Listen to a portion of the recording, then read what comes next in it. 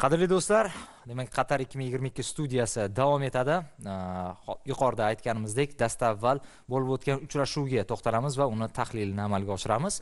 Fransiya terma jamoasi o'yindan oldin studiyada ham taxminlar bildirgan edik. O'sha yirik hisobda yutishi yoki ishonchli g'alabani qo'lga kiritishini aytgan edik. Lekin qaysidir taraflama biroz e, taxminimizni polsha buza oldi menimcha. Ya'ni vaziyatlar bunchalik darajada e, lyoris darvozasi qarshisidagi vaziyatlar bunchalik darajada keskin tus oladi deb menimcha ko'pchilik e, taxmin bildirmagandi.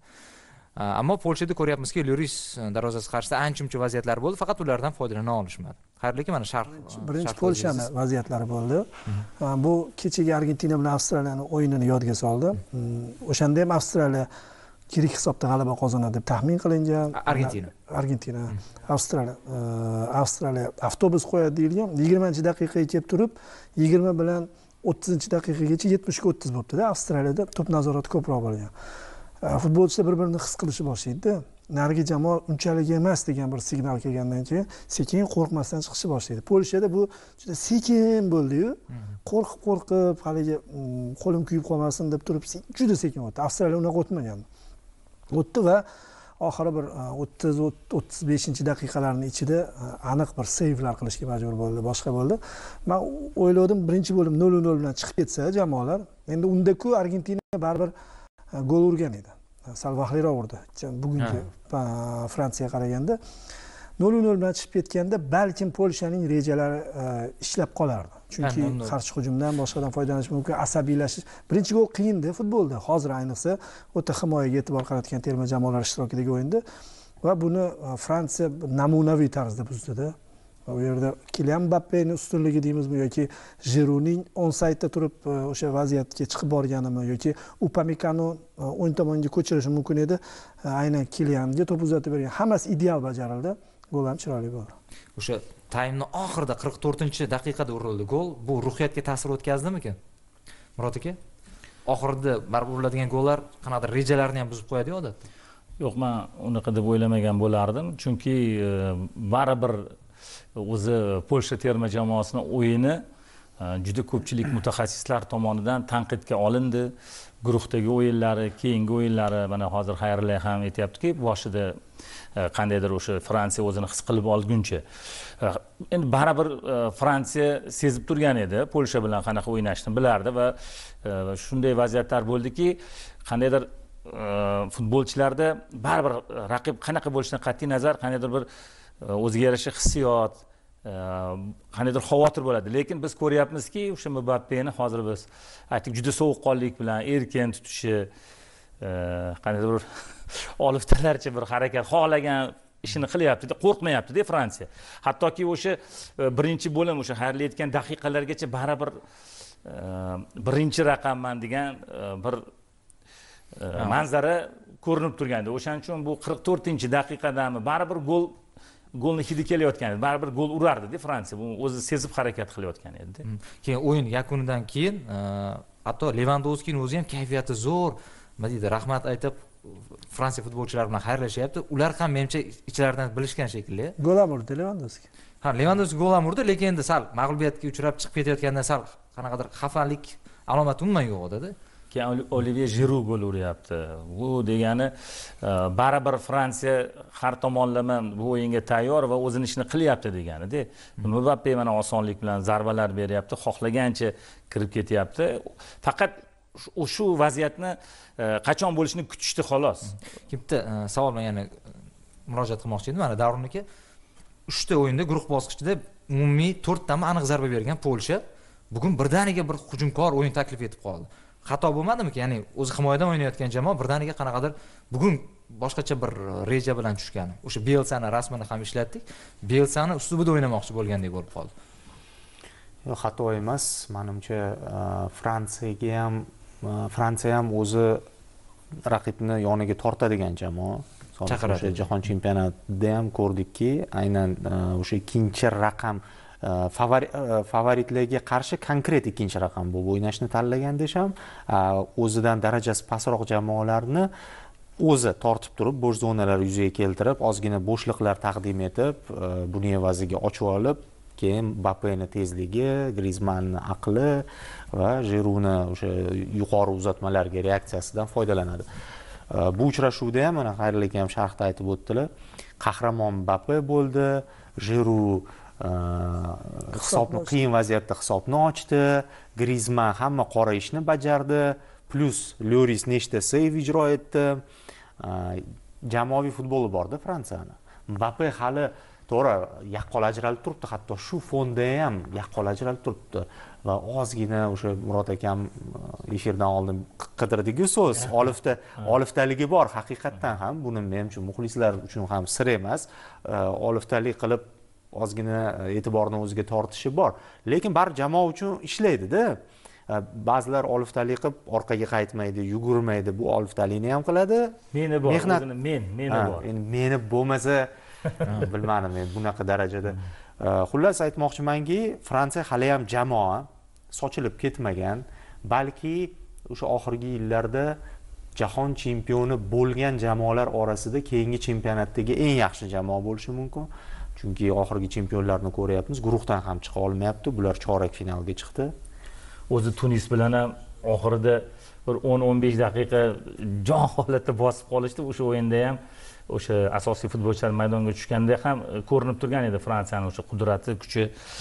Oxirida endi tunisku e, to'laligicha himoyaga yotib oldi va natijani ushlab qoldi. Lekin murod aka tunis e, fransiya terma jamoasini qudratini ancha vasf qilyapsizda lekin hamma o'yinda gol o'tkazdi. Hamma o'yin fransiyami fransiya. Avstraliyadan ham avstraliya hammada o'tkazdi? va birinchi bo'lib ikki marta gol o'tkazdi. O'sha gol o'tkazganligini sababini davron aytib o'tdiki ya'ni o'ziga bu yaxshimi? Misol uchun ertaga baribir to'p o'yin bo'ladiku angliya bilan bo'ladigan bo'lsa endi himoyaga oxirigacha himoyalanishi mumkin. Bitta golni urib olib. Himoyaga yotib olayotgan himoyaga e'tibor qilayotgan jamoalar bilan o'ynash baribir qiyinda ko'rdikku mana o'sha argentinani misolida ko'rdik. Fransiya ham qiynaladi o'shaning uchun majbur chaqirishga majbur. Chaqirmasa kirish qiyin argentina unaqa qilmayaptida yo fransiya ham xuddi shunaqa. Argentina nima maqsadiga erisha olmagandan keyin shu ishni qilyapti argentina. Maqsadiga erisha olmagandan keyin majbur bo'lyapti o'ziga chaqirishga va keyin kecha shunaqa bo'ldi argentina. Fransiyani himoyasiga uncha ishonolmayapman ochig'i. Teo majburlikdan o'ynayapti. Teo hujumda zo'ru lekin himoyada yomon himoyachilardan biri hisoblanadi. Baribir akasi chalimas keyin upamekano yuqoriga ko'tarilib o'ynaydigan himoyachi. Ikkalasi funk e, boshqacha futbolda o'ynaydi. Varan ikkalasi. Varan qovushib hali tekshirishimiz kerakda o'sha angliya tekshirib beradi. Sinovdan o'tmadi. Hmm, o'tish kerak. to'liq sinovdan o'tgani yo'q. Mana e, o'zi uchrashuvdan avval polsha terma jamoasimiz ta'riflaganmiz. Qanday yomon o'yin bilan menimcha nimchorakdagi eng zaif jamoa edi. Nimchorakda marokash yaponiya yoqimsiz eng yoqimsiz ham yomon ham statistik ma'noda ham shu lekin tarkibida levandovskiy zelinskiy yana boshqa futbolchilar krihovaklar tan olish kerak bor futbolchilar bo'lsa ham biz qandaydir simpatiya o'zimizni majburlab uyg'ota olmadik agar ular o'ynaganda biz polshaga masalan alohida bir tayyorlanib bunday fikr bildirmaymiz polsha chindan e, e, nursiz o'yin ko'rsatdi chiqdi. Lekin mana bu uchrashuvda biroz o'zgarishga harakat qildi man uchrashuvni lekin o'n besh daqiqasini boshqacharoq ko'ribman hozir hamkasblarimiz fikrlarini eshitgandan keyin o'n besh daqiqa yigirma daqiqa fransiya oldinga o'tdi. Э, o'sha э, polsha yopilib olgani hisobiga men kira olmadi ham demayman kirayotgandi kirayotgandi zarbalar bo'ldi. O'sha tashqaridan zarba yo'llab ko'rdi. Э, Dembele ham qanot o'ng qanotdan kirib bordi va bu uchrashuvda desam bitta avvalgi uchrashuvlardan farqi man sezganim kingsli kominni birinchi daqiqada maydonga tushirdi. Komin unda ikkinchi variant sifatida qo'llanilayotgandi. O'zi juda yam kamtar bo'lib qolgan fransiya zaxirasi. Ya'ni hozir zaxirani qaraydigan bo'lsak e, asosiy tarkibdan keskin kontrast borda. Jarohat olgan futbolchilar hisobiga o'sha safdan chiqib ketganlar e, turnirga yaqin benzema ayniqsa oldingi chiziqda. Shularni hisobiga ikkinchi taymda masalan e, xayrli akam aytgandek nol nol birinchi taym nol nol bilan tugab qolganda ikkinchi taymda kuchaytirish mm, kuchaytirish kerak bo'lgan futbolchi aslida kingsli komin edi. Lekin u birinchi taymda maydonga tushdi va haligi mm, nima deydi birinchi taym oxirida maqsadiga erishdi jamoa. Bu yerda to'g'ri man eng katta E, nuqtani man grizmanga qaratgan bo'lardim baribir. Hamma qora ishni u qilyapti. Lekin xayrilla orif bitta tomon bor. Hozir o'sha katanets gapi esimga tushib ketdi. Yodimga e, yaqinda o'sha shu savol berganimizda shu shunday javob bergan edi aytib o'tgan edim. O'sha siz aytib o'tgan himoyachilarni siz tilga oldingiz upamekano varan ustun tomoni ustun tomoni. E, faqatgina o'sha biz aytib o'tgan jiru mbappelarda emas o'sha dembele grizman ya'ni o'rta yarim himoyachilar. Himoyachilarning ustunligi nimada? Yaxshi tomoni nimada? Yarim himoyachilar agar zo'r o'ynasa mana fransiya hozir menimcha eng yorqin o'ynayotgan terma jamoalardan biri. Yarim himoya va hujum chizig'i. Xohlagan ishni qilolsa e, mana dembele o'tib ketyapti zarba beryapti. Yoki bo'lmasam o'sha biz tilga olgan o'sha jiru mbappe grizman chuameni ko'pgina futbolchilarni ham e, sanab o'tishimiz mumkin o'rta zo'rmi? Baribir qo'rqadi. Har qanday terma jamoa qo'rqadi.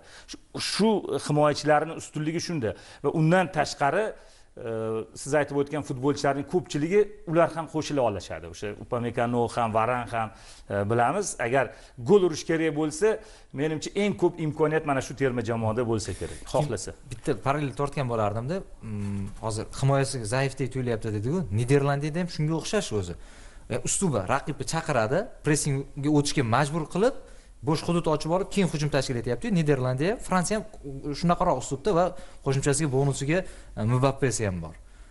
Ya'ni aytmoqchi bo'lganim nimaga himoya zaif ko'rinyapti? Niderlandiyani ham zo'r futbolchilari bo'lib turib fransiyani ham shu raqibga o'ynashga imkoniyat berib baribir bitta ikkita joyda pand berib qo'yishi mumkinku baribir. Yarim himoyachilar yoki himoyachilar. Shuning uchunmikin kilian mbappe angliya bilan o'ynashi mumkin to'g'rimi? U dunyodagi uni to'xtatishi mumkin bo'lgan himoyachi bor. Oker bor o'sha qanotda. Oker tushirsa kerak. Endi agar senegaldan o'tib olsada shu o'yinda misol uchun boshida hisobni angliya terma jamoasi ochsa keyin qiyin bo'ladi mana shu haqda gap ketyaptida. Bu himoya avstraliyadan gol o'tkazayotgan tunisdan gol o'tkazayotgan polshadan gol o'tkazayotgan. Boyagi vaziyatlardan bitta gol bor edida baribir. Shuncha hmm, raqib darvozasi oldida mana mana. Ha o'sha himoya shu masofadan gol urolmayapti lekin fransiya uryaptida. Shunisi bor. Yo'q fransiya hali katta o'yin o'ynamadi. Argentina ham o'ynamadi argentina ikkalasi katta o'yin o'ynamadi. Endi o'ynaydi misol hozir eng kuchli juftlik nazdimda angliyaga nasib qilgan senegal va portugaliyaga shvetsariya terma jamoasi ancha jiddiy. Mana shu vaziyatda ispaniya malokash boya ham aytiluvdi kundayga o'sha zanjirlari xalal berdi shekilli tezlikda yutqazib qo'ydi. Qarang xayrilla mana turib olganlarni qarang mana gol urganlarni emas orqadagi turib olganlarni qarang. Juda ham bir yovvoyi futbol bu xuddi argentina kecha messi soniyada e, skrin qilib yurib yurib e, vaziyat topib oldiku shunaqa qildi fransiya. Lekin shungacha yo'q edi shu. Birorta vaziyat bo'lmadi. Siz ishonasizmi angliya terma jamoasi himoyachilari shunaqa xatoga yo'l qo'yishlarini? Yo'q xatoga yo'l qo'ydi lekin fransiyaga ishonaman. E, ko'pchilik bo'lib baribir yorib kirishiga ishonaman. Hozir hali angliya chiqishi masalasi hali masala lekin man fransiya haqida gapiryapman. Qiyin bu qarang qanaqa? Faqat to'pni oshirib orqaga qaytishmasdi bularda o'rtada qanchalik yopirilib mana qarang mana qarang nechta o'n sakkizinchi yillar kuchlimi? Hozir to'qson sakkizdan? O'n sakkizdan kuchli juda kuchli. Qaysi? Bu fransiya kuchli. Chempion bo'lgan pagbalar bilan ha? Bu fransiya kuchli. Unda pagba mani nazarimda bu fransiya kuchli. Yoningizda turib sizni fikringizga qo'shilib turuvdimda shu paytgacha yo o'n sakkizda mayli u. Yo qarasam davron qo'shilib turibdi. Bir narsa savol berishim kerak bo'ldi. Hozir to'g'ri ketayotgandingiz yo mbappe bor edi. Ikki ming o'n sakkiz mbappe to'rt turgan chempion bo'lgan. Pavar ham yaxshiroq formada edi hop e, murod aka e, to'g'ri gapirayotgandingiz. Fransiya haqiqatdan ham kuchli e, va yaxshi jamoa bilan o'ynamadi degan fikrga ham qo'shilmayman. Daniya bilan o'ynadiyu. Sizlar daniyani fransiyadan daniya yaxshi emasligi ma'lum bo'lib daniya rasvo bo'lib kelgan ekan umuman eng ko'zyosh daniya ro'yxatda eng afsus ho'p polshani qo'shilaman. Polsha bu holatida fransiyaga raqib emasdi. O'zi oxirgi tur o'yinda ham ma'lum edi. Polshani xarakteri yo'qligi.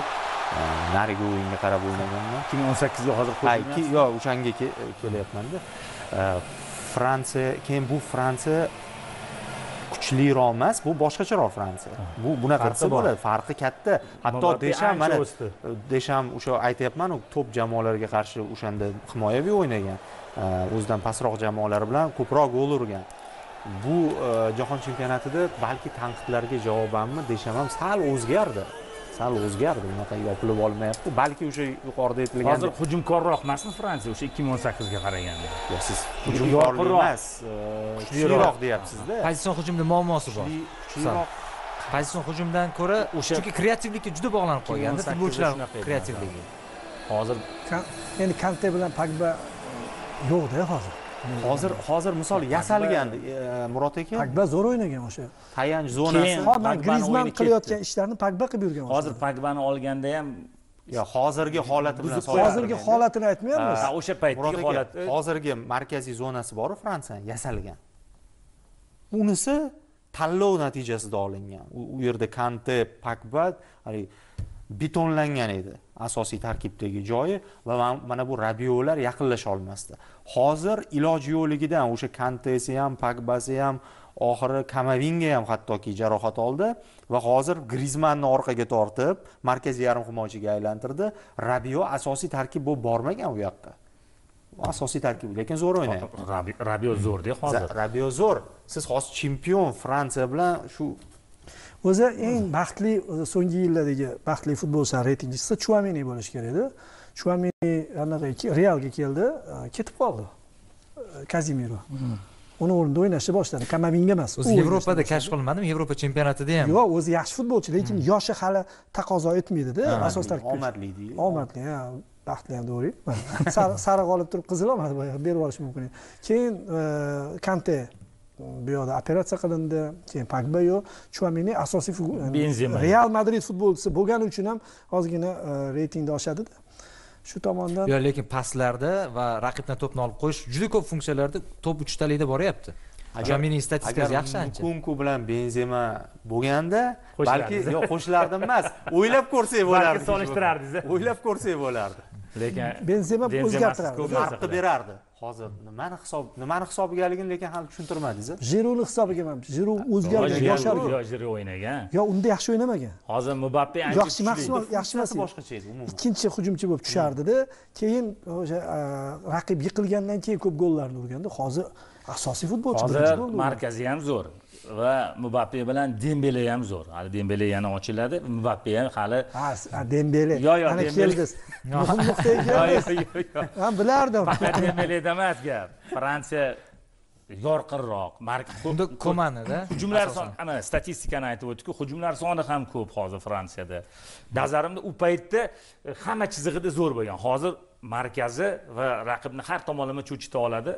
Endi bilmadim balkim solishtirish qanchalik qaysi to'g'ri. o'yin sizga shunaqa xulosani berdi? Qaysi o'yinga qarab bugungi o'yinni ham Polsha bilan? Mana bugungi o'yinni ham man e, birinchi ikkinchi o'yinda hammamiz hayron qolib turgan edik. Hattoki o'sha e, birinchi uchrashuvda to'rt bir hisobida g'alaba qozongan o'yinida ham e, keyinchalik keyinchalik hamma niderlandiya ham faqatgina kecha ochildi. Kecha baho berdik niderlandiyaga. Man umuman hayron bo'lmadim. Man fransiyani kuchli deb bilaman. Kuchli deb bilganman. Yo Faqat sizni deb emas. 2018 ga qo'shilmadingiz.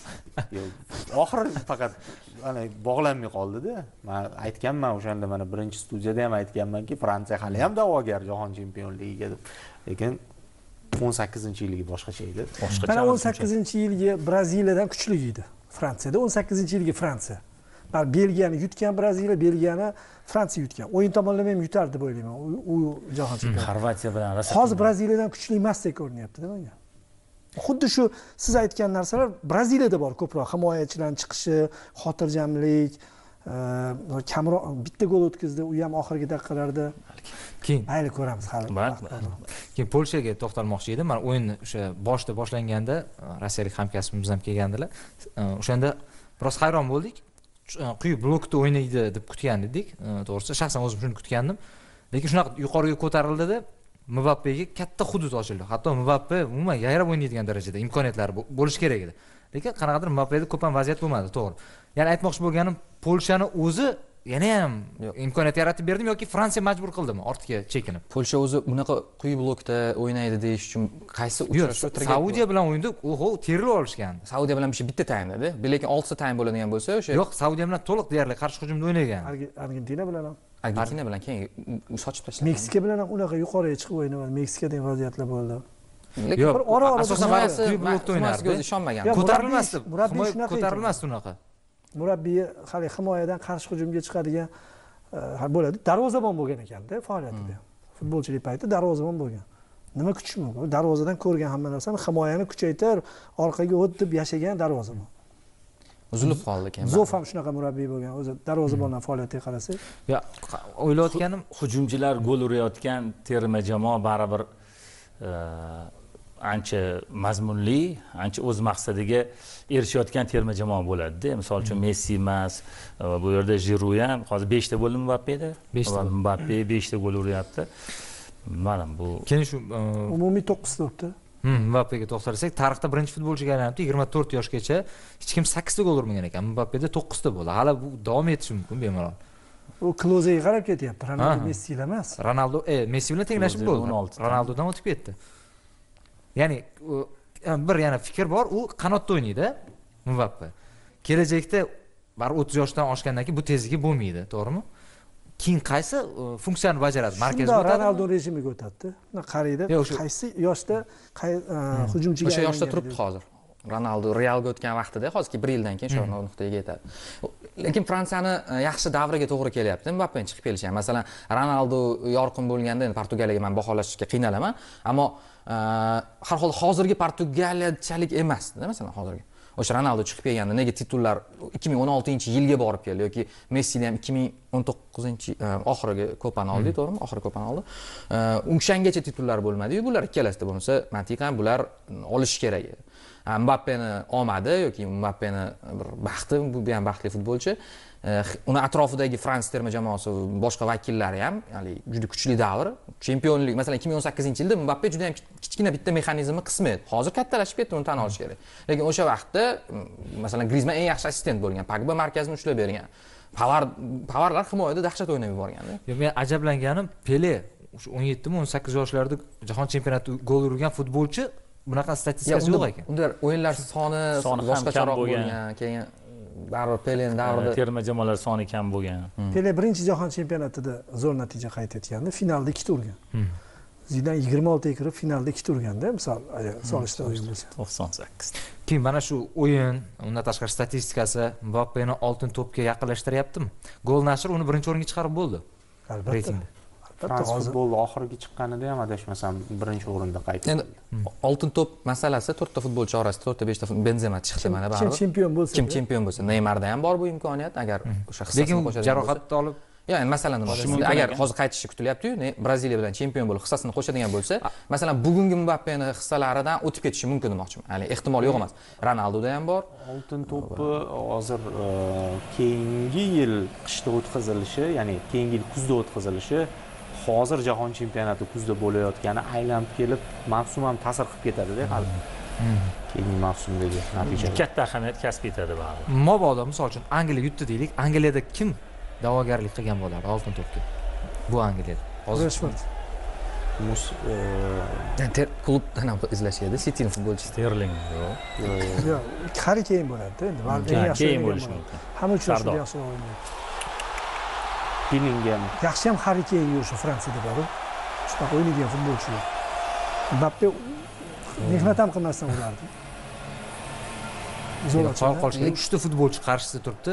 Misol uchun messida qiyinchilik bo'ldi shunaqa vaziyatlarda. Endi oxirgi golni urgandir u avstraliyaga. Shunga o'xshash vaziyatda lekin yerlatib urishni o'rgan u Hmm.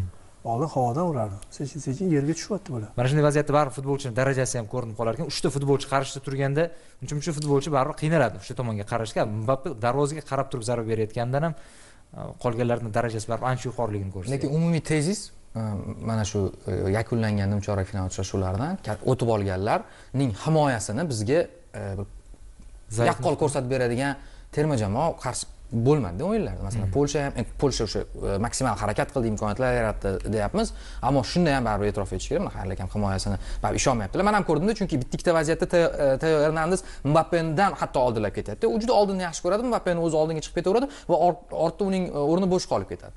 Bu boshqa terma jamoalar masalan polsha foydalana olmadi bundan. Yoki polsha buni tushunmadi ham bunga yetib borgani yo'q bu nima bo'layotganiga kunda ham oldiriladi kunda umuman u navbatchilik qildi shu vaziyat yuzaga kelishiga ham kunday sababchi bo'libdi. Yonidan xuddi mbappedek o'tib ketibdi polsha futbolchisi. Hozir kimligi esimda yo'q. Ya'ni o'shandan keyin yuzaga kelibdi shundan foydalana oladigan terma jamoa hali yo'lidan chiqqani yo'qda fransiya balkim u kuni fransiya terma jamoasi boshqacha ham o'ynashi boshqacha o'ynaydi angliya bilan. Bu hozir endi angliya chiqsa yana marta aytib o'taman angliya chiqqandan keyin bunaqa kunde bilan teo hujumchilardan oldinga o'tib ketmaydida umuman boshqacha futbol ko'rsatadi. Polsha bilan bilardi fransiya kuch pozitsiyasi bilan o'ynadi bemalol o'ynadi. Man hech bir fransiyani qiynalgan joyini ko'rmadim asabiylashgani ham yo'q. Hatto daniya bilan bir o'n daqiqa qiynalgan joyi bor edi. Lekin mana shu polshada bugun ko'rmadim. Shu- mana sizlar aytyapsizlar vaziyatlar yuzaga keldi deb. Yo'q polshada e, polshada hech kim ishonmadi. Uchinchi turdan keyinku bu. Polshada polsha ham borda bu bu yerda. Xuddi shunaqa daniya bilan birinchi turda polshani imkoniyatlari ko'rsak juda boshqacharoq gapirardikda. Bu polsha levandovski ham baribir haligi e, u orol uzilib qolgan katta futbol e, katta futbolchiyu xarakter yil e, jamoani o'zi bilan olish borasida sal boshqacharoq ekan. Oldin ham bilardim misol uchun bavariyada o'ynaganda Hmm. barselonaga kelganda muhim uchrashuvlarda sal panaga o'tishi bor. Lekin lekin mana shu uchrashuvda e, hudud deyarli qoldirilmabdi. Ya'ni to'pga teginish uchun ortga qaytishga majbur bo'ldi levandovski a mbappe xuddi shunaqa zararsizlantirilishi kerak bo'lgan futbolchi deb olsak vazn nuqtai nazaridan aksincha umuman unga baribir er- erkinlik berib qo'yishgan. Lekin mbappe ikkinchi uchinchi golni urdida shuni hisobdan chiqarmasligimiz kerak. Birinchi golni urolmadi lekin o'sha golga sababchi bo'ldiku? Yo'q golga sababchi o'sha orqaga o'tib golga sababchi bo'ldida o'zi qila olmadida keyin epizodlarda mbappeni e, zararsizlantirish emas u lekin shu xato qilishga majbur qila olishyapti haligi o'zi ko'p xato qiladi. Uni fe'lida bor haligi to'pdan o'tib ketib qoladi. Ba'zi fintlari o'xshamaydiyu. U gol mana har bitta o'yinni ko'rib chiqish masalan imkoniyati bo'lsa muxlislar ko'rib chiqishi mumkin. Man ikkita o'yinni sharhlab bordim.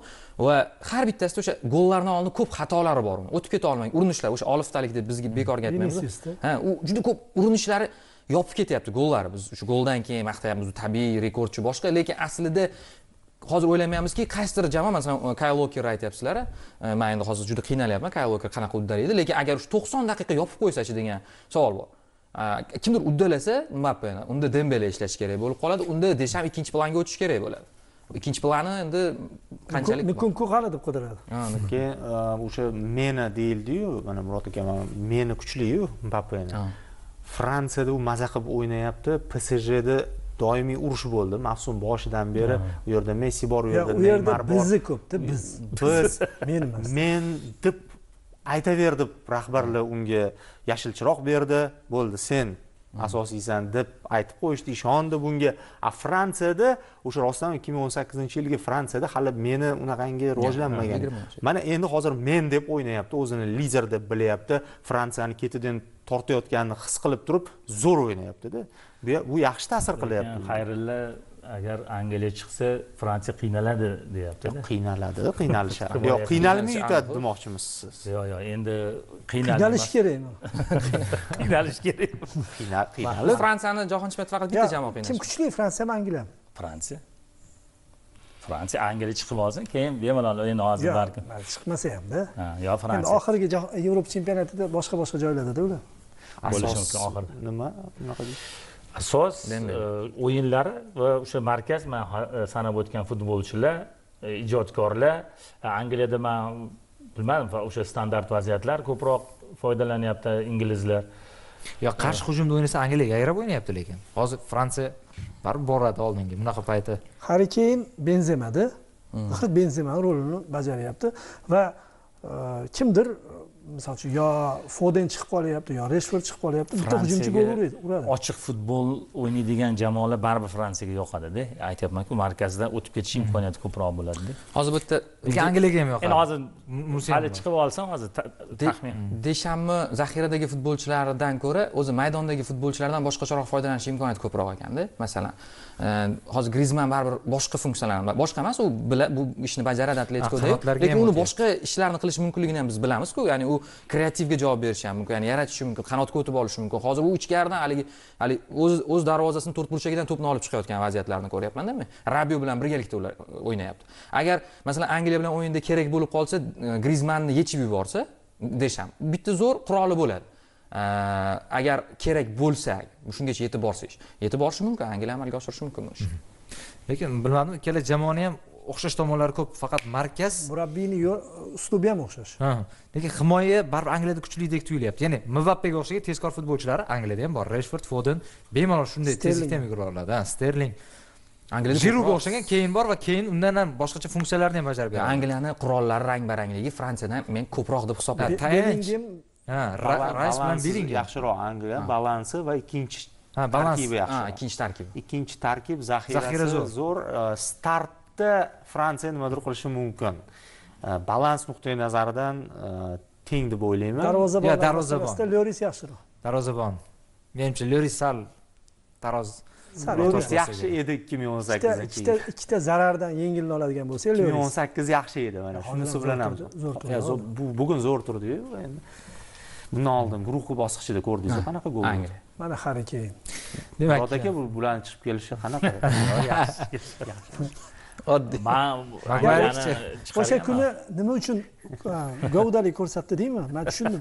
Kamerani pasroqdan oldi. hop pasroqdan olmaydi mana bunaqa bo'yni qarang ularni boshqacha tasvirchilar boshqacha olishyapti. Hop, Angliya Senegal o'yiniga o'tdik. Hop, Senegalning imkoniyatlarini ko'pchilik past baholayapti, lekin qarshi hujumda Senegalda Ismail Sar, Bulay Diyalar ham ancha tezkor futbolchi ekan.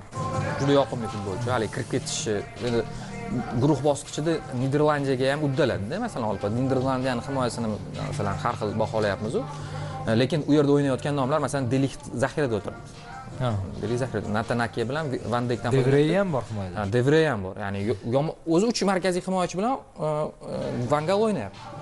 Ya'ni shu himoyaga ham Senegal kirib bora oldi demoqchi. Va Ismail Asar bu yerda o'sha har bitta o'yinda, guruhdagi har bitta o'yinda bu ishni uddalay oldi. Endi Angliyaga bugun baribir qanaqadir juda oson bo'ladi deb o'ylamayman. Hammamiz taxmin qilib turibmiz.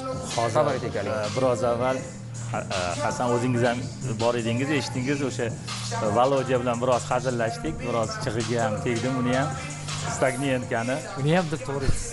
chunki angliya bilan mana bu o'yinda e, o'sha sar e, kulibali va diye uch nolga senegal yutadi deb e, hazillashdim man aksincha e, keyin sterling reshford uch nol angliya yutadi deganimdan keyin u shunday javob berdiki ya'ni aytmoqchimanki e, ishonayotganlar ham bor senegalga endi e, Muammo tug'dirishiga men ishonyapman lekin. chunki biz ekvador bilan bo'lgan o'yinda ham ishonmayotgan edik lekin ular maqsadiga erishishdi.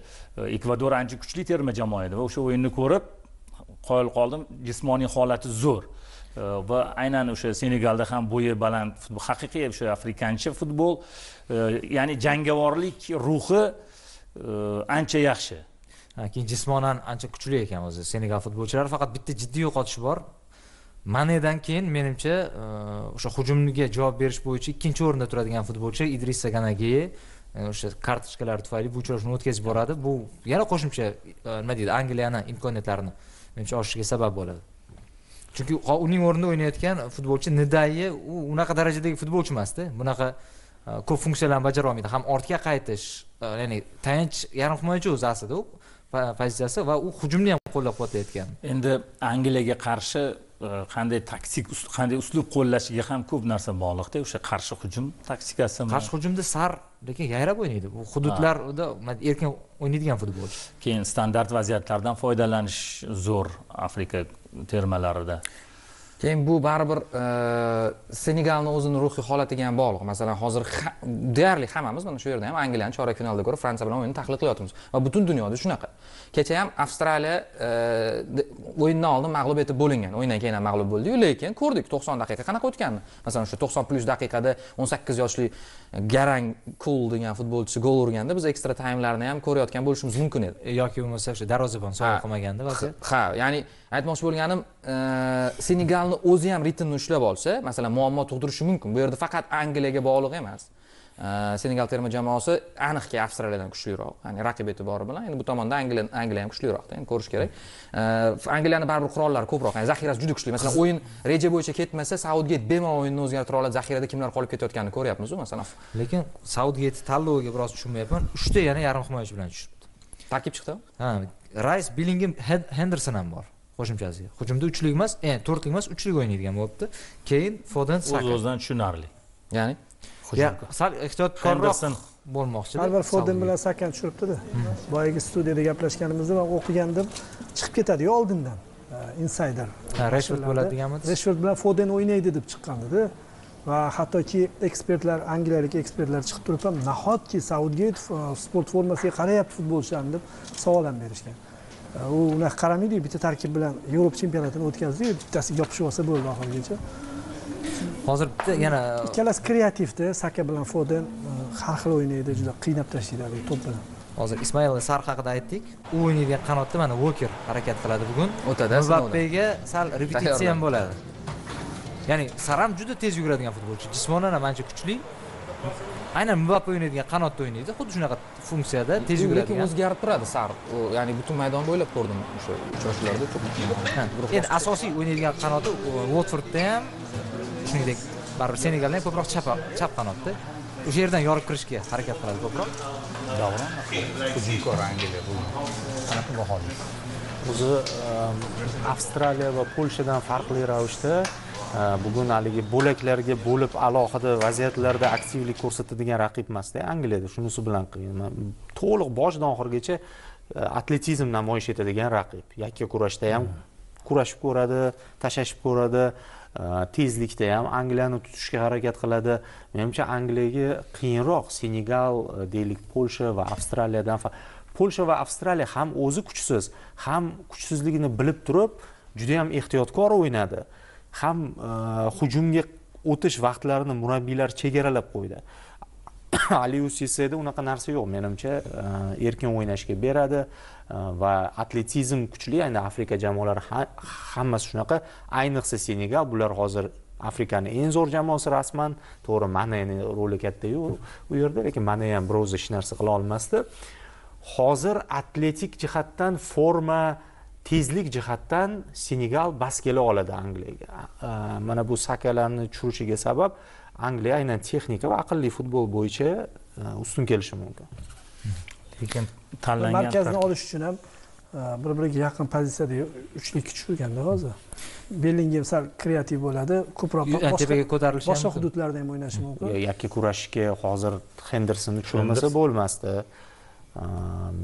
Masalan mantiqan to'g'ri deb o'ylaymanda mana shu shu uchlik markazda o'ynash mana hozir e, aqsh chiqib ketdi polsha chiqib ketdi undan tashqari avstraliya. e, avstraliya chiqib ketdi. Ular orasida senegal ulardan kuchli deb hisoblaysizmi? Albatta. Chiqib ketganlar biz nimchorak ma'lum edi. finalda ko'pchilik endi juftliklarda favorit bor. Yo favoritlar g'alaba qozonib kelyapti ha e, lekin qaysidir o'yinlarda baribir sal oradagi farq qisqa? Ya, nima qisqada bunda. Senegal bilan angliya o'rtasida unaqa katta tafovut yo'q. Chunki angliya ochilmadi hali. Mutlaq bizga o'zini bo'y basti bilan chiqib kelmadi. Bitta o'yinida e, erondagi voqealar sabab bo'ldi. Keyingisida birinchi bo'limda aqsh urolmadi rosa ko'p vaziyatda tushunolmayman agar aqsh urganda hozir himoyasi haqida muammolar haqida gapirib turgan bo'lardik. Lekin o'sha kuni himoyada muammolar bo'ldi. Lekin eng baland ballni aynan himoyachilar oldi va magvar eng ular orasida eng yuqori magvar hujumda yaxshi o'ynayaptida ko'proq. Lekin o'sha kuni makkenni bo'sh qolgan darvozalarga urolmadida makkennida bo'ldi pulishishda bo'ldi. Uchinchi o'yinda endi uels terma jamoasi hali sinalmadi. Keyin hozirgi fikr to'g'ri. Avstraliya bilan polsha guruhda boshqa raqib bo'lmagani uchun chiqdida. Ikkinchi o'rin bilan boshqalar bir biri bilan oyog'ini chalib boshqa qolib ketdi. Senegal bo'lsa ekvador ham bor edi. Hali uchinchi jamoa bilan hisob kitob qilib chiqdi. Oxirida ter to'kdi. Shu bilan birgalikda a, birinchi o'rin bilan o'yinda yutqazgan bo'lsa ham zo'rroq o'ynadi. O'yin taraflama o'yin tomonlama aniq zo'r o'ynadi. O'sha kuni aynan lekin yetishmadi. Masalan hozir ham katta jamoaga qarshi o'ynaydiyu. Hujumi yaxshi. E, to'g'ri angliya niderlandiyadan keskin farq qiladi o'yin usuli bilan. Lekin o'sha kuni sadio mane yetishmagan yodingizda bo'lsa o'sha saksoninchi daqiqacha olib bordiyu nol noldan keyin gakpo gol urdi o'sha daqiqagacha senegalda ikkita uchta imkoniyat bo'ldi foydalana olmagandi E, va bugun endi bilmadim agar man shu narsa ham yana sezilib qolishi mumkin. ikki nolli o'yin emas edida u. Ha, 2-0 o'yin emas. Ikkinchisini oxirida haligi senegal sa- yo birinchisi ham sakson to'rtlarda urilgan edi. Gakpo bir nima qildi sal charchab qolishgan edi. Risk qildida bir nolligida oldinga borib risk qilib yana gol urishga harakat qildi. Mendini xatosi ham baribir chiqib u kelishdi. Yerda mendin xato qilgandi. Aytmoqchi shu mendi sal ishonch bermayaptida mendida xato ko'p hech bo'lmasa mendi liderlikni o'zi endi top klublar o'ynaydi chempionlar ligasi g'olibi mavsumning eng zo'r darvozaboni shu manening qanaqadir bo'shab qolgan liderlik o'rnini olsa bo'lardi. Shuni eng qizig'i idrisa ganaga olgandi. Yaqqol bilinib turganda tortayotganda jamoani yo'q. u ham yo'qda endi aksiga olib. Keyin gana to'g'ri u ham o'ynaganu top klublarda Hozir Evertonda endi. liderlik pozitsiyasida bo'lmaganda hech qachon. Mendi bo'lgan shu ma'noda. Bugun balki ba- balki qahramonliklar ko'rsatib yuborar. Chunki mana o'zining jamoadoshlariga qarshi o'ynaydi bir ikkita. O'sha tanish futbolga qarshi. Hali vaqtimiz bor. Yana bitta mavzuni ochmoqchi edim. O'zi ertalabki studiyada ozgina gapirildi bu mavzu lekin e, uni batafsilroq keling. O'sha tahlil qilsak egalari endi keldi. Ha egalari endi keldi. Ha, demak argentina messi mavzusi to'g'risi e, o'sha paytda yaxshi bir fikr aytildi ya'ni e, oldin aytgandik oxiri aytishga majbur bo'lgandik. Barselonaga messi endi xalal berishni boshladi. Qolganlar e, ko'proq baribir messiga o'ynalayotganligi uchun biz ularni salohiyatini ko'ra olmayapmiz. Baribir u ketsa qolganlar ham ochilib ketadi degandik.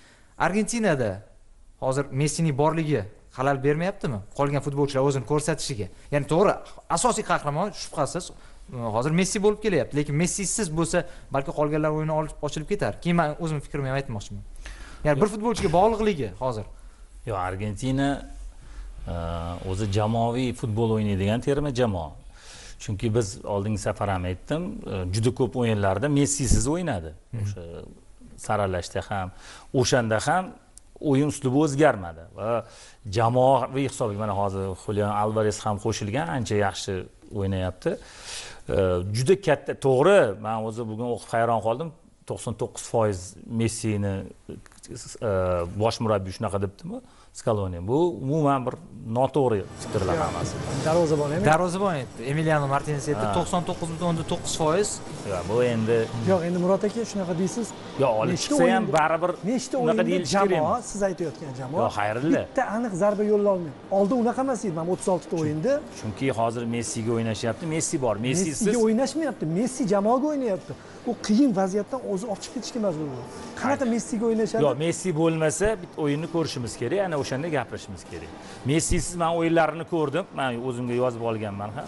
Messisiz ham ya- yaxshi man o'ynadi. boya yozdim hop mana shu mundialda hop xalal bermayaptimi sizningcha yo'q halal bermayapti katta o'yinlarda misol uchun niderlandiyaga qarshi messisiz ham e, messi bilan ham o'sha argentina juda katta o'zgarish bo'lmaydi. Xalal- qanaqa xalal qilish mumkin? Messi borku. Yo bitta to'g'risi ancha futbol ancha yillardan beri kuzatib keladigan bir e, inson bilan suhbatlashganimda bitta yaxshi fikr aytadi.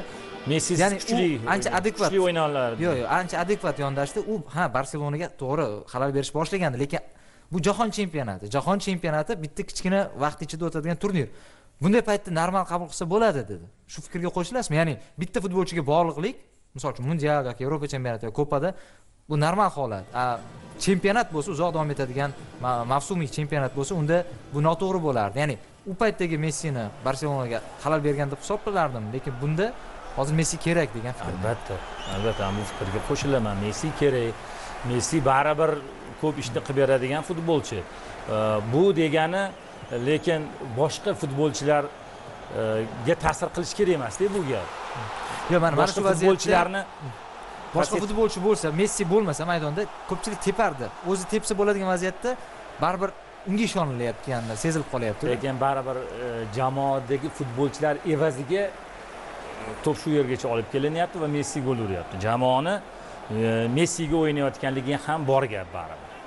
Endi vaziyatlardan unumli foydalanish bo'yicha klass gap bo'lishi mumkin emas o'sha e, meksika bilan bo'lgan o'yinda ham uzoqdan gol hozir ham Xo'p, e, endi futbolchilarni oyog'ini katta o'yinlarda misol uchun deylik niderlandiyaga qarshi o'yinda misol uchun messi yopiladigan bo'lsa unga hudud berilmasa. Endi qarang niderlandiya baribir e, fransiya emas u braziliya emas farqi bor.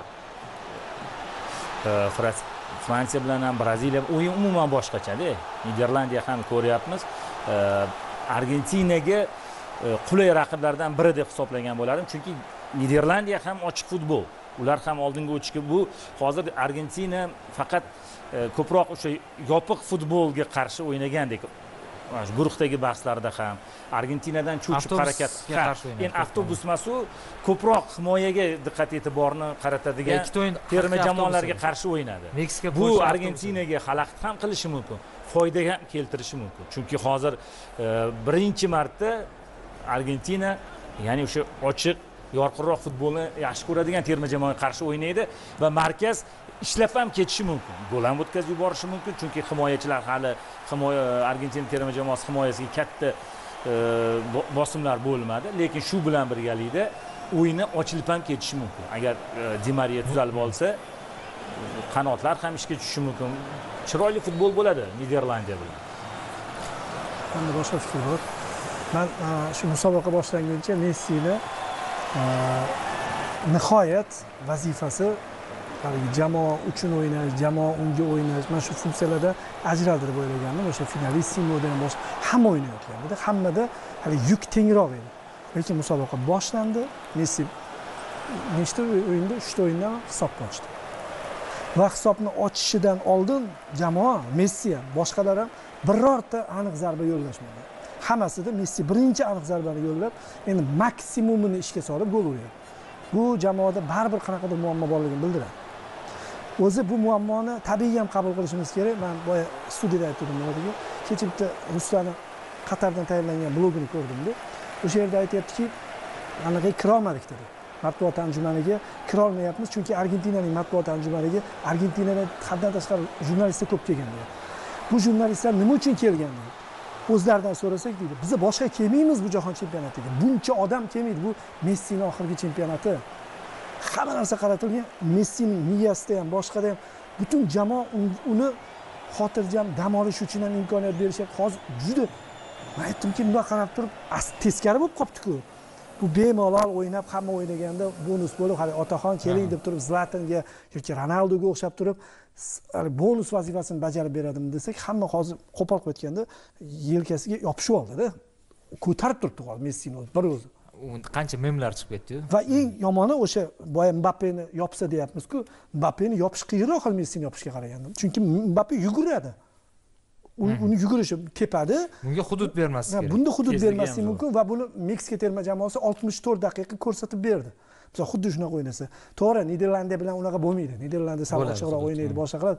Lekin maqsadi jahon chempioni bo'lgan terma jamoa bir marta bo'lsa ham messi mutlaq ushlangan o'yinni ko'rishimizga to'g'ri keladi endi polsha bilan boshqalar gol urgani polshani rasvo o'yini hisobga bo'ldi polsha bo'lganda baribir darajasini u bilan o'lchash ha. o'sha gol ham baribir messini messi hisobni ochsa bo'ladi o'shanda penaltidan ura olmadi O'zi men hisobni ham ochdida bunday o'ylab qolaman. o'sha golni nazarda tutib aytganim yo'q edi balki yaratuvchi futbolchi ham messi bo'lib qoldi. Ortdan to'pni olib kelishda ham messi e, hujumni belgilab berishda ham messi. Hamma deyarli yuk messiga bo'lib qolganda. Endi o'zi tarkib e, to'p emasda bundoq real qaraydigan bo'lsak endi talyafiko e, romerolar hozir mana angliyani himoyachilari bilan fransiyani himoyachilari bilan ular qaysi jamoada o'ynaydi? Bu qaysi? Enso fernandes kecha benfikada ochilgan bola birdan ochilib qolganda asos tarkibga tortyapti chunki yo'q demak asos yo'q. De paul e, oldingi darajasida emas hayron qolarli ham juda yomon nusxada jamoa to'p emas hozir. Messi yopib turibdi hammasini. Shu paytgacha anaqa skaloni messiga hududlar ochib turib messiga yordam berayotgandi deyishdi. Jahon chempionatida messi skalonini terisini yopib kelyapti deyishyapti Ha. oxirigacha yopishi ham mumkin qizig'i. Ya'ni bu messida shunisi bor. Ya'ni shunisi chiroyli chiqadida ertak shunisi bilan bo'lmoqchi gap masalan e, bu yerda messini e, hech hech qanaqa hech kim darajasini savol ostiga olayotgani yo'q. Oxirida messi hammasini olib chiqib bitta o'zi chempion bo'lishi ham mumkin ya'ni shunga qarab ketishi mumkin. Hali bitta ham o'yinda hali bir daqiqa bir daqiqadan o'zini soniyasini topib o'sha pastdan urib yoki meksikaga o'xshab eh, haligi ko'zdan qochirganda gol urib qahramon bo'lib ketishi mumkin. Buni hamma tushunib turibdi. Lekin gap savol qanaqa qo'yilganda savol aytilyapti argentinani o'zi qanaqa jamoa deyilsa messisiz yoki messini alohida qilsa qachonki ular o'sha saralashda kopada o'rganishganda messi bilan teng darajada ya'ni ular hamma yukni mm, o'zlarini ham yelkasiga olib o'ynashni messini bir qism hisoblab o'ynashganda ana o'shanda chiroyliroq kuchliroq edi. Lekin hozir haligi o'zbekchada nima bo'ladi shunda? Haligi e, zaif nuqtasiga aylanib qolishi mumkin shu. O'sha saralashda messisiz o'ynagan o'yinlarda eng qizig'i argentina birinchi raqamli bo'lib emas ko'proq himoyadan qarshi hujumda ko'proq o'ynagan ekan. Ya'ni gollari urilgan. Saralashda uzoq davom etadigan braziliya bilan ham shunaqa o'ynagan misol uchun. Braziliya bilan o'yin bo'lmagan hozir bir tep To'xtab tep tep to'xtab qolib o'yin bir g'alati o'yin o'zi bo'ldi. e, mani fikrimcha bu savolni ko'tarish o'zi noto'g'ri. Sabab yo'q. Misol lautaroni aytsa bo'ladi. Haligi ortiqcha bo'lmayotganmikin zo'r nom yulduz lekin momentlar vaziyatlarni urolmayapti yoki bo'lmasa levandovskiyda ham sal shu savol ko'tarilsa bo'lardi. Mana shuncha oltin to'pga da'vogar eng zo'r hujumchilardan biri lekin jamoasini torta olmayapti deb. Messi hozir jamoasini to'p urari e, har o'yinda o'sha birinchi bo'lib gol uryapti. Ochib beryapti argentina uchun.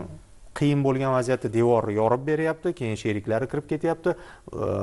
Nima sababdan o'zi bu savol ko'tarilishi kerak? sabab davron hali to'p jamoa bilan o'ynamadida yo tushundim lekin shu o'ynagan jamoalari bilan ham messi yaxshi o'ynadiyu. Yo'q messi Kim yomon bilan messi o'sha to'plar bilan ham zo'r o'ynaydi. Lekin yopilish shunda misol uchun messi faktori ishlamay qolganda hasan shuni aytmoqchida mana misol uchun man boya twitterda yozdim. Krishtianu ronaldu portugaliyadan ketgandan keyin man portugaliya kuchli bo'lib ketadi deb tasavvur qilaman. Argentina yo'q bo'lib ketadi deb o'ylayman. Misol argentina bunaqa to'p bo'lmaydi. Messi ketdi deylik. Maradona ketgandan keyin esinglarda to'qson sakkizda juda zo'r argentina paydo bo'lgan. Haligi ay- nimada artegalar artegalar unaqa bo'lmaydi deb o'ylayman lekin ertak yaxshi bo'lishi uchun qarab ketyaptida hozir unchalik darajada bo'lmaydi keyin kutilmalarimizdan kelib chiqyapmizda biz hammamiz e, ya'ni biz argentinani masalan siz fransiyani favoritman e, aytdingizu fransiyani favorit deganman birinchi mana biza ham am, masalan man ham argentinani favorit deganman nega? Chunki o'sha saralash degan o'yinlardan juda jamoaviy messiga zo'r funksiya berilgani nihoyat messi o'zini barselonadagi o'sha hatto xavi iniesta davridagidek his qilishni boshlagandek tuyulgani uchun biz "Ha, bu argentina endi dahshat. Agar messini bir amallab yopishsa ham qolganlar uddalab ketadi deb hisoblaganmiz. Endi shunday bo'lib chiqyaptiki yana messi tortyapti. Ha u oxirigacha tortib tortganda ham oldingidan ham battar yukundada shundan Ya, ya'ni to'rtinchi shunaqa bo'lgandi. Messi tortmay qolgan joyda urisholmaganda hozir qiziq suhbat bo'lyaptida hozir hamma ishtirokchilar messini muhimligini gapiryapti lekin har xil rakursdan gapiryapti. Hammani fikri bir biz shunchaki hali ehtimolni ko'rib chiqyapmiz. Qaysidir jamoa yopib qo'ysa messini argentina nima qiladi degan savolga qiziqyapmiz. Lekin bitta narsa bitta narsa e, hozir messi kerak jamoaga hech ham ortiqcha joyi yo'q. messisiz hozir. argentina man ham qo'shilaman e, juda o'rtacha bo'lib qolmaydiyu lekin yaqqol favoritlar qatoridan bir pog'ona tushadi.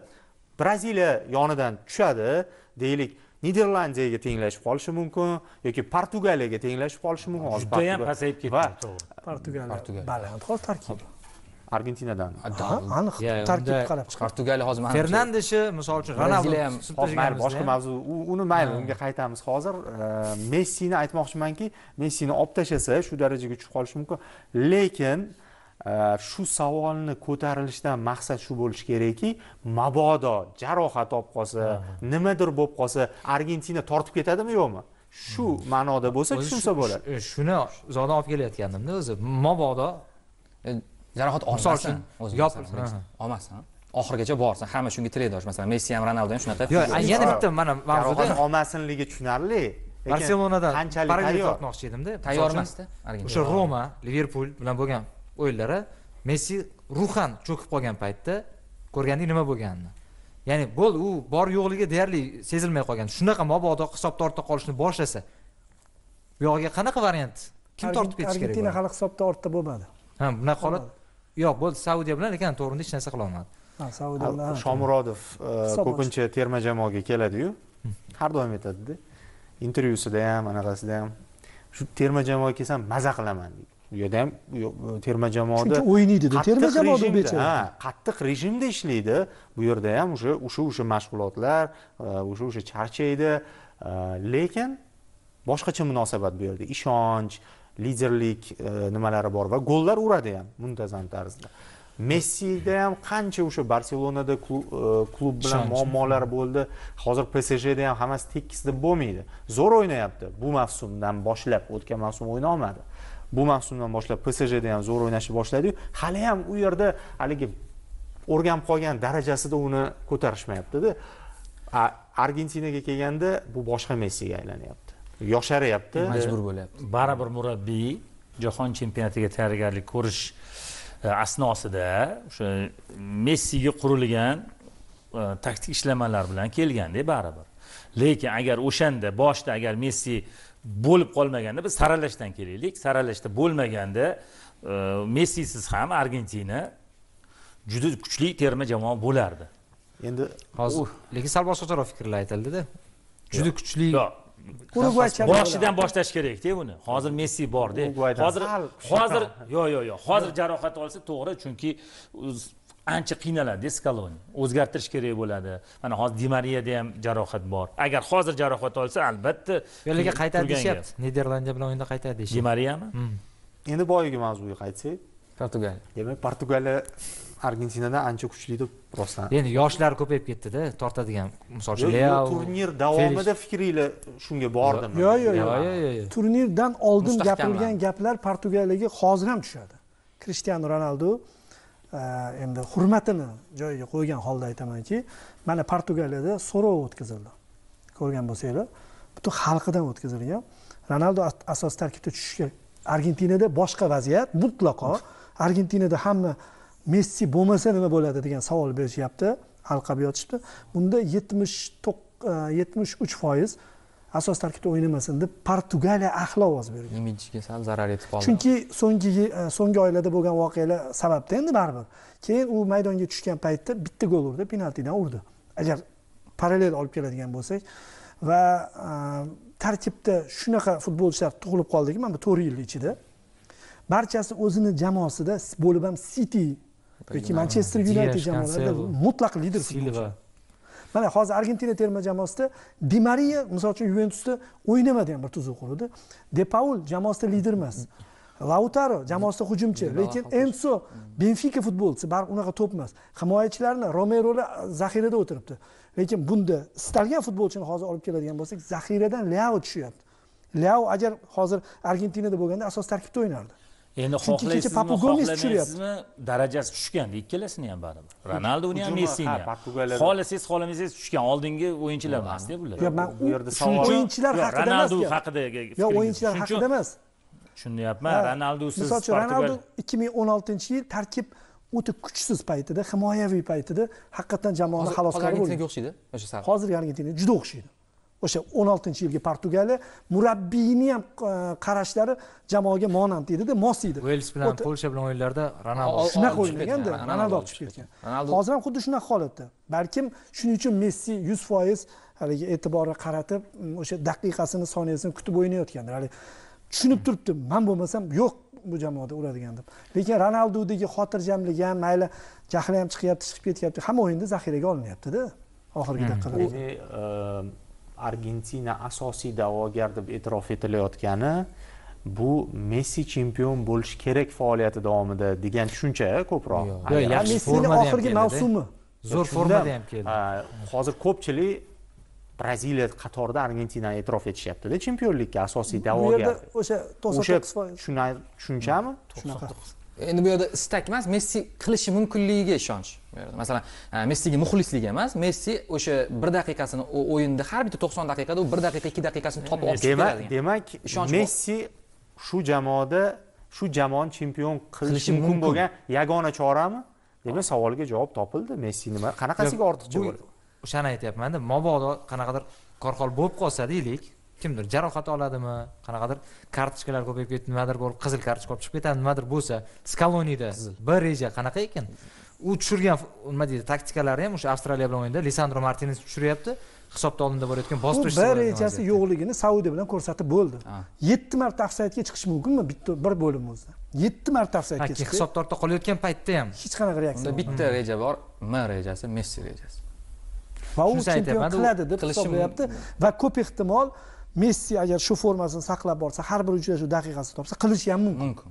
Va qilgandan keyin bu argentina zo'r bo'lgani uchun emas messi maradona rejimiga yoki olib chiqqanu Ya men ham normal holat deb o'ylayapman buni. Shunchaki skaloni shuni bilib turibdi faqat messiga bog'lanib qolganligini. Nimadir skaloni o'zi yordamchi yordamchi murabbiy bo'lib kelgan keyinchalik vaqtinchaga lekin messi Dalichga o'xshab turdi. adashmasam faoliyatini tugatdi deganda skaloni sekin yana oyoqqa turg'aza boshlagan. Qanaqadir nima deydi jamoada tizimni sekin asta yo'lga qo'ya boshlagandi. Keyin to'g'ri qo'shilib ketdiyu messi lekin baribir aytmoqchi bo'lganim sal buzib qo'ymadimikin? Uni sal o'sha amortizatsiya qilsa bo'ladi. Baribir dibalani tushirib turib di mariyani qanotga qo'yib turib o'rtani sal kuchaytirib turib bo'shliqni ozgina bo'lsa ham yopsa bo'ladi. Va shunda ham argentina juda yam kuchsizlanib qolmaydiyu. Burilish yasay oladigan odamlar odam yetishmay qoladi. Bo'ldi a portugaliyaga keladigan bo'lsak rostdan ham o'ylab qaraydigan bo'lsak hujumda tanlov juda yam kattada nomlar hujum va hujumdan orqaroqda o'ynaydigan lekin darvozaboni mana o'zim ham ikkita o'yinini sharhladim. Juda sust darvozabon. Himoyada pepe yuribdi. o'ttiz to'qqiz yoshli uni yonida Pepe yaxshi mavsum uni yonida o'n to'qqiz yashar bolani tushirdi. Atamendi ham Yaxshi. Atamendi ham yaxshi o'ynayotganligi uchun o'ynayapti. O'zi ba'zi futbolchilar bor. balans o'sha haligi figura ma- mana bunday ketyaptida hozir lekin portugaliyada Dias bor oldida ha diyash ham unutmaslik kerak o'tgan mavsumning yaxshi futbolchisi eng yaxshi futbolchisi o'ynayapti Angliya o'ynamayaptida o'ynadi jarohat hozir argentinada hali Oxirgi o'yinda. asradi asradi hozir vaqtimiz oz qolyapti ekan portugaliyada yana angliyaga qaytamiz. E portugaliyani gapirib qo'ymasak baloga qolamizda. Shuning uchun gapirildiku mana hali portugaliya ertaga ya er- indinga o'ynaydi indinga o'ynaydi Juda qiyin to'liq to'xtalamiz. Ya'ni bu mavzuni ko'tarayotganim sababi o'zi bittasi iltimos ham qilgandida o'sha qanaqa fikringlarni bilmoqchiman sharhlovchilarni o'shanga ham ko'targan. Talablarga binoan ishlayaptimi boshlovchilar? Desam yaxshi. Bitta odam uchun o'tkazibmizda ikkinchi qismi. Menimcha ko'pchilik o'zi fikrimiz bu aynan messiga bog'lanib qolayotganligini yana bitta isboti bo'lgandan keyin lautaro martines ham o'ziga kelib olishi kerak. Hali bu o'ziga kelishi kerak. Yana memlarga tushib qoldi lautaro hali lautaro lukaku bilan bitta jamoada o'ynar ekan. Kecha aytishdi lautaro boshqa lautaro o'ynashi kerak hali.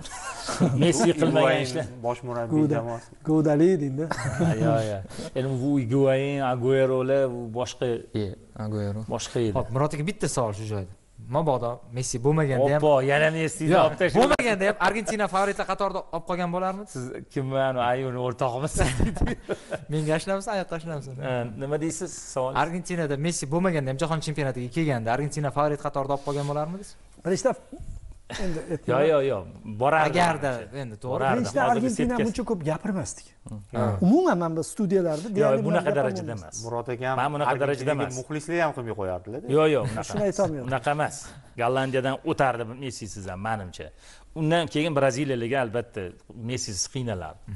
Man shunaqa fikrdaman gollandiyalardan bemalol. Niderlandiyalardan ya'ni o'tardi messisiz ham o'tardi barselona futbolchisi frenki de yong o'ynayotgan jamoadan farqi yo'q.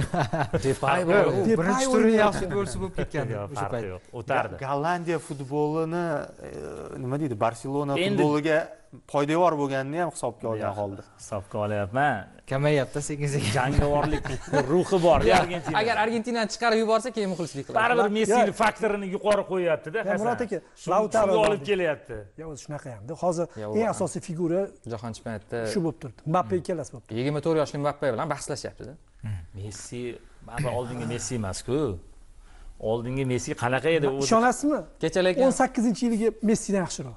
Jahon chempionatidagi o'n sakkizinchi yilgi messidan sekinlashgan. O'zi yoshi yo'q o'n sakkizda Yaponda emas. formasi ham unaqa emas zidan ham yoshi o'tganda zo'rroq o'ynagan. O'ttiz to'rt yoshida. 18 fantastik mavsum zo'r Yo'q, hozir Tez- tezligi tezligi kamaygani bilan lekin aql hozir boshqa rejimda butun xalq qarab turganini his qilib turibdi o'sha vaziyatlar. Nega play offda urmagan shu paytgacha nima bu yil endi nimaga chunki butunlay boshqa o'yinchiga aylandi va bungacha o'zi psj sababchi bo'ldi deb o'ylayman. Chunki oldinda neymar mbappesi bo'lgani uchun messini yopishganiga u orqadan hujum boshlovchi rolini bajara boshladiku. O'zi unda boshqa funksiyasi moyilligi bor edi. Bunchalik chuqur himoyaga o'tmasdida. Ya'ni himoyadan deyarli boshlab kelyapti psj assistlar bo'yicha ham bekorga yuqorida emasda xavotirli tomoni shundaki bu aytsa ham bo'ladi aytmasa ham bo'ladi.